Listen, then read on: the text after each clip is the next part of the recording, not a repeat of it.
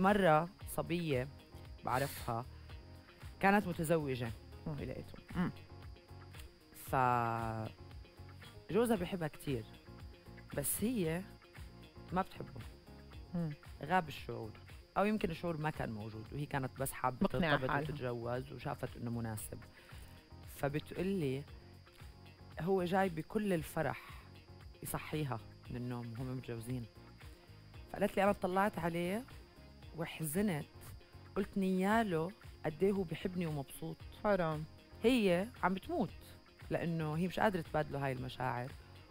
وبرضه ما عندها خلينا نقول مرات المشاعر على فكرة بتغيب. ما بدي أقول لكم بدون سبب ولكن مش بالضرورة إنه الشخص يكون سيء بالمطلق ولا آه، بيشتمك ولا بضربك ولا بمد إيده عليك. مرات الشعور بيغيب لأنه هو مش عارف يحبك بالطريقة اللي أنت حابة تنحبي فيها. يما. هلأ شوفوا هذا الشخص نفسه اللي هو بيموت عليها وبحبها تخيلوا كيف ممكن توصل أنت إلى مرحلة من الشعور تجاه الآخر لما تحس حالك عم تفقده.